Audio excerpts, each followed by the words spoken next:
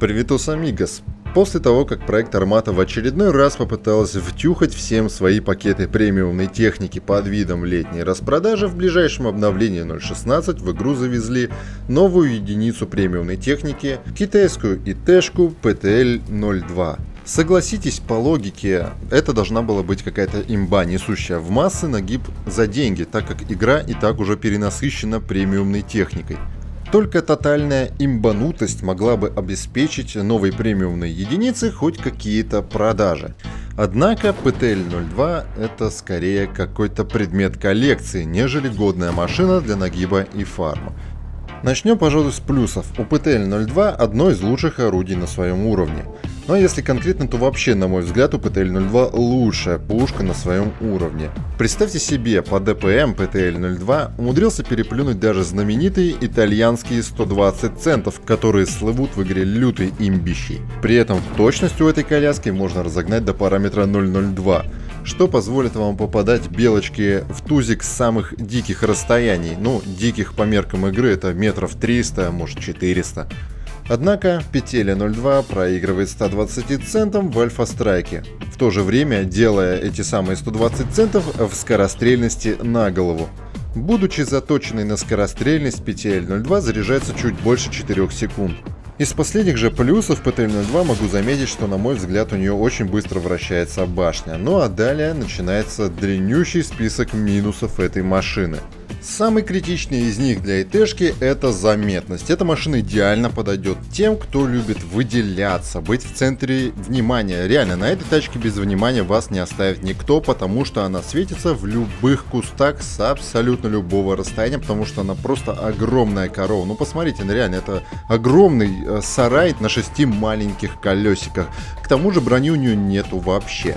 Создается впечатление, что данный вид техники в китайскую армию был заведен исключительно для для утилизации личного состава путем размещения пяти солдат в этой капсуле смерти. Реально, этот э, ПТЛ-02 самая настоящая братская могила для пяти человек.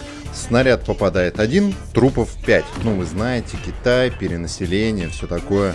Но заметности Тэшки не мешало бы, если бы она, как и 120 центов, была заточена на высокий альфа-страйк. То есть не на скорострельность, а именно на альфа-страйк, чтобы выехал, юзнул перк тихая стрельба, дал плюху и скрылся в неизвестном направлении, шелестя кустами. Но тут ситуация другая. Чтобы грамотно реализовывать весь могучий ДПМ этой машины, нужно реализовывать ее скорострельность. О том, как это следует делать, мы поговорим чуть позже, а пока переходим к динамике.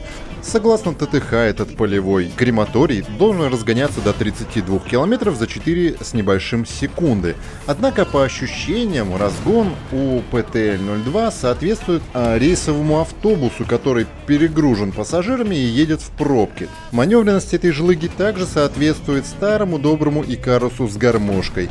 Я веду к тому, что быстренько сдриснуть, когда враг вас обнаружит, а враг вас обнаружит, скорее всего, не выйдет. Так, как же играть на этом чуде техники? Совершенно точно могу сказать, что не имеет смысла назначать командиром этого танка Сабрину Вашингтон и прочих персонажей, заточенных на скрытность. Со всеми своими перками, полезными для мелкой габаритной техники, они вообще ничем не могут помочь этой сарайке. Вас засветят в любом случае. Лучше посадите кого-нибудь на точность или скорострельность. Я вообще Воропаева посадил и в принципе доволен. Оборудование советую ставить также на точность. Черт с ней со скорострельностью. Точность этой машинки пригодится больше. Почему? Потому что ваше место в бою самое-самое дальнее. Сначала танки, потом пехота, потом артиллерия, потом машины поддержки, заградотряд, а за ним уже вы ведете снайперский огонь из могучей ПТЛ-02. Если же говорить о тактике игры на этой тачке подробнее, то занять свои любимые имбовые кусты на ней скорее всего не получится, потому что любой визелек вас тут же из них высветит, после чего вы получите несколько лещей от вражеской команды. Поэтому наиболее верная тактика игры на ней, на мой взгляд, это старый добрый подсос дамага. То есть одно из двух. Либо вы подсасываете дамаг э, на том фланге, на котором ваша команда атакует, то есть ведете огонь из-за спин своих танкующих э, товарищей, пытаясь выцеливать и выковыривать врага из-за их укрытия, давая им затрещины всякий раз, когда они выезжают для того, чтобы дать плюху, Либо второй вариант, едете на наименее защищенный вашей командой фланг и ждете, когда враги приедут сметать тех немногих его защитников. Тогда, естественно, наступит ваш звездный час, и вы с максимально дальнего расстояния сможете этих самых врагов окучивать. По мере уничтожения ваших деферов силами наступающего неприятеля, вы начинаете откатывать и яростно блинкать по миникарте, чтобы на съедение врагу поехал кто-нибудь еще, а вы в это время снова с максимально дальнего, подчеркиваю, расстояния накинете еще несколько снарядов. При таких условиях со своей точностью пробоем и скорострельностью ПТЛ-02 в состоянии вывести из боя довольно неплохой дамаг, ну минимум 1003 на мой взгляд, если вас не сольют. Ну а далее самая хреновая новость. Как я уже не раз говорил, основная цель и смысл существования премиум техники в игре – это вывозить из боя для вас лавешку.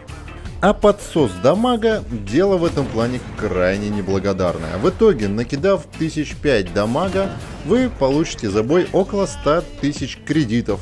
Ну, естественно, с премиум аккаунтом и какими-нибудь бустами желательно. Так что, как премиум техника, PTL-02 крайне пососная машина. И заработать на ней какие-то более-менее серьезные суммы кредитов практически невозможно.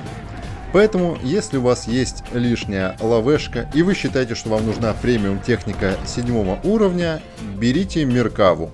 Ибо порой даже самый дерьмовый премиумный танк привозит денег намного больше, чем самая прекрасная ИТшка. На этом у меня все. Что-нибудь жмите, что-нибудь пишите, ну и все такое.